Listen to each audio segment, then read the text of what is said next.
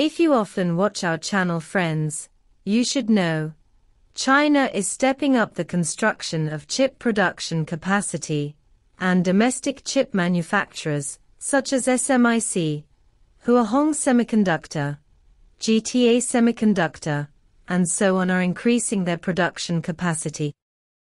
Among them, GTA Semiconductor has launched multiple tenders to purchase semiconductor equipment such as thin film deposition, etching machines, and lithography machines for the industry market.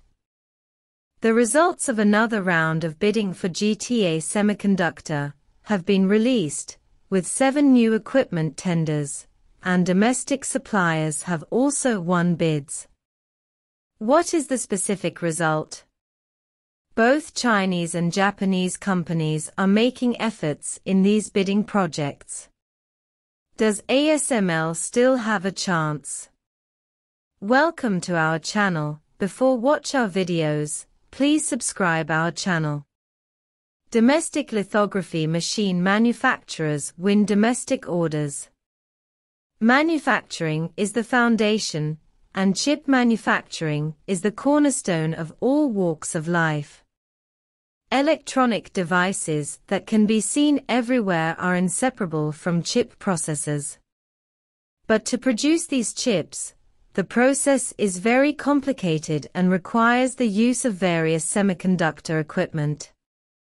Almost every process corresponds to a type of equipment, and the types of semiconductor equipment formed include lithography machines, etching machines, cleaning machines, ion implanters, process inspection, thin film deposition and so on.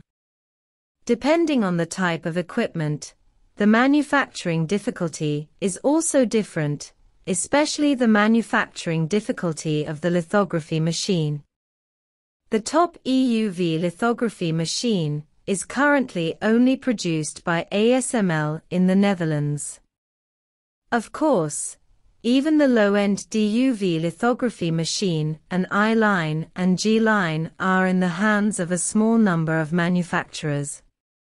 ASML continues to deeply cultivate the Chinese market, hoping to get more support for lithography machine orders and to expand the scale of the team in mainland China to provide services to customers. However, whether or not to bid for the equipment ordered by domestic manufacturers depends on the situation. Unexpectedly, the bidding and winning results of domestic manufacturers have been released, but ASML has not been seen, and the domestic lithography equipment provided by Shanghai Microelectronics successful bid. Specifically, this week, Chinese domestic manufacturers tendered 105 sets of equipment, including one etching machine, one thin film deposition, and other process inspection, ion implantation machine, etc. In terms of winning bids, China won the bid for 28 equipment this week, including one lithography machine, one etching machine and process inspection, two cleaning equipment, and 23 equipment won by other manufacturers. In the list of companies to be tendered, Shanghai GTA Semiconductor has added seven new bidding equipment, which shows that there is a richer demand for various types of semiconductor equipment. Shanghai Microelectronics won the bid for the only lithography machine order, and did not see the lithography machine giant ASML winning the bid. Is ASML not participating in the tender? In fact, in the first half of GTA Semiconductor's bidding projects, ASML has a record of winning the bid. Why I didn't see ASML this time? It is estimated that it has either lost the bid or the follow-up list has not been announced yet. No matter what the reason, ASML will definitely not give up the bidding opportunity of domestic manufacturers. As for whether it can win the order share in the future, we need to wait and see. However, Judging from the bidding situation of major domestic manufacturers this time, many domestic suppliers participated in it. For example, North Huachuang, 11 in Engineering Superconductor, Core Silicon Technology, and Shanghai Microelectronics, etc. Some of them won the bid for lithography machines, while others won various orders such as cleaning equipment. At a critical moment when domestic semiconductors are increasing their production capacity, these bidding projects will surely attract extensive attention from industry giants at home and abroad. Including Japanese manufacturers are also actively bidding.